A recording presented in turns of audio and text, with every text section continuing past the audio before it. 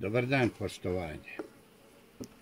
Došlo je vreme, za par dana pojavit će se mnogi koji će nuditi silne preparate za lečenje raznih bolesti kod pčela.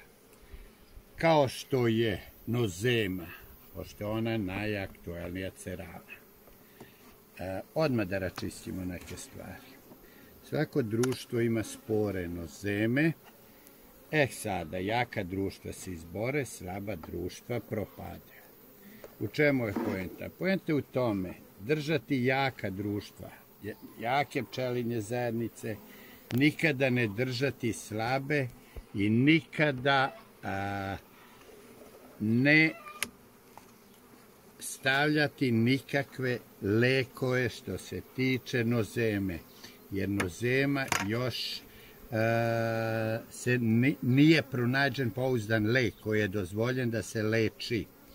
Šta vam ja preporučujem? Ja vam preporučujem jake pčelinje zajednici i preventivu. A šta je preventiva? Preventivu ja koristim već godinama KAS 81. Zbog čega KAS? To je obično, to znate šta ima u sebi, da nema nikakvog negativnog utice, da nema ništa. I odmah da vam kažem nešto, kas ne leči, ali preventivno deluje. Šta je bitno, šta radim? Napravimo jednu flašu, od 2 litra, primjer uzimam, e, stavim šećerni sirup i stavim 20 ml kasa. Njime polivam pulicama ovako od ozgo po pčelama. U čemu je poenta? Preventivno deluje. Delujem preventivno, šta mi treba? Treba mi da ova pčela, vidite dole po plodištu, da ova pčela opstane kao zdrava, kao sa, jer to je ona pčela koja će proizvesti zimsku pčelu. E, kad se jefti, to znate sami, da je mnogo jeftin i da nema potrebe, pogledajte još šta ima meda, da nema potrebe da ne, ne posipamo kas. So m. Pošto ima sirup, te će pčele, evo ništa neću, normalno nikada ne prskati, nikada ne prskati, a, leglo otvoreno, jer ćete napraviti sledeće da se izbaci. A, ovo se društvo već sprema za zimu, neće biti vrcanja, zato letvici postoje, da ne bi pitali. Letvici postoje, zašto? Pa treba borbu protiv aroja, ako nećete vrcati, ako nećete to odraditi treba borbu protiv varoje, to jest uništavanje varoje početi na vreme.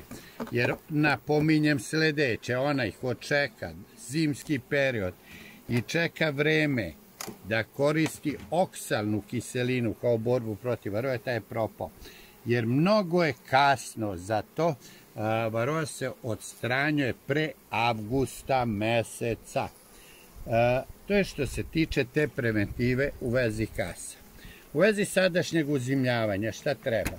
Sva društva lepo proveriti, pregledati, varovu ostraniti, e, ramove lepo staviti, ako su neka slaba, ne dozvolite da vam društva budu slaba. Društva moraju jaka koja će se izboriti.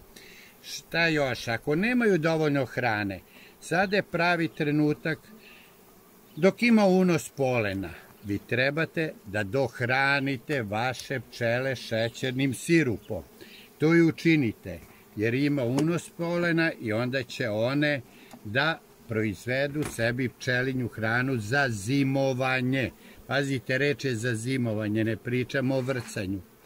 Šta je poenta? Poenta je u tome, proverite maticu, proverite kako polaže jajašta, sve uradite, čitavu proveru.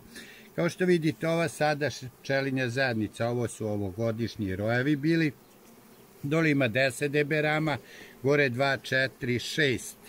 Pogledajte, šesta ulica, 1, 2, 3, 4, 5, šesta ulica pčela, evo i ova, izrađa. Znači, ovi e, na 16, izvinite, na 17 ramova je. Znači, ona je nespremna za prezimljavanje, ona je fenomenalna i odlična šta hoću da vam kažem, nemojte da stavljate neke mirišljave tečnosti. Nemojte da stavljate neke stimulanse da, pola, da maticu poboljšavate polaganje jajarca. Matica neće polagati jajarca tamo gde pčele ne pripreme, a pčele će polirati, pripremiti ćelije onoliko koliko smatruju da im tada u tom periodu dovoljno za a, polaganje jajarca. Matica neće po patosu polaganje. Znači, to je uzaludno što radite. Stimulans za polaganje matica neće po dnu košnice da polaže jajarca, nego će